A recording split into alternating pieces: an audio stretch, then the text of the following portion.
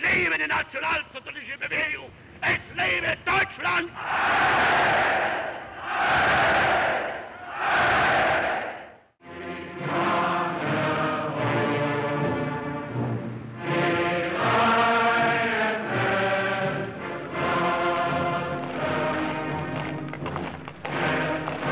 I'm the man who first discovered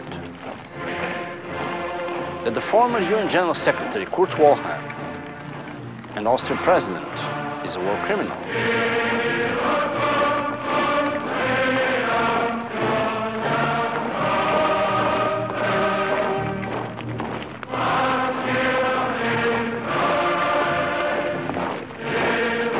Please, put it back. Make rewind. This man.